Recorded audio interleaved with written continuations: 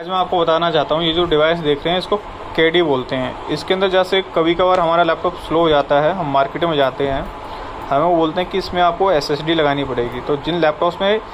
M dot two S लगाने की जगह नहीं होती उसके अंदर इस